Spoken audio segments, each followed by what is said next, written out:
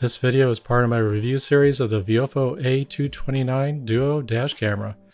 In this video I'll be showing you examples of video footage gathered with the use of a circular polarizing lens filter installed and with it not installed.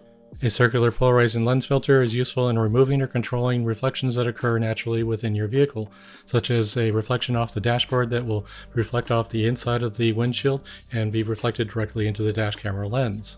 In this video, I'll show you several daytime and nighttime examples with and without CPL filters using a Viofo A229 Duo front camera, a Viofo T130 front camera, and a BlackVue DR750X 3-channel plus front camera. Some dash camera companies such as BlackVue do not recommend the use of the circular polarizing lens filter at night since it does reduce the amount of light that enters the dash camera and can reduce the brightness or video quality recorded at night. The dash cameras are installed in a vehicle that has 117,000 miles on the odometer, so the front windshield is not in perfect condition, but it only has small rock chips on the outside, and I can't avoid that with a vehicle with that mileage. The windshield glass in this vehicle is standard windshield glass with no tints or films installed. I hope this video will answer the question for you what the video will look like with and without a CPL filter. So, let's get into it.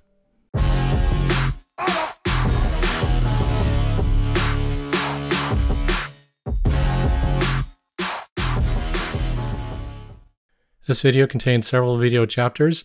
If there's one of particular interest to you, jump to the time index listed on the screen here, or expand the video description section and click on the link down there.